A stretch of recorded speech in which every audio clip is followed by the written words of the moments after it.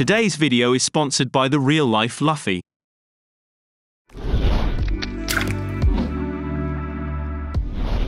Drag a Fusion Cross dissolve between your clips. Select the transition and open it in the Fusion page. Choose the transition node and delete it. With your first clip selected, add a merge node after. Change the apply mode to difference.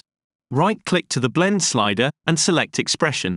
Type down this simple random expression. Select your second clip and add an invert node after. Uncheck one of the color channels and connect it to the merge as a foreground. To add some texture to your transition, add a grain node after the invert node. Increase the power slider, the grain size slider, and the grain spacing slider, and your difference transition is ready. If you like this clip, subscribe to this channel. If you didn't, subscribe to another one. It's so simple.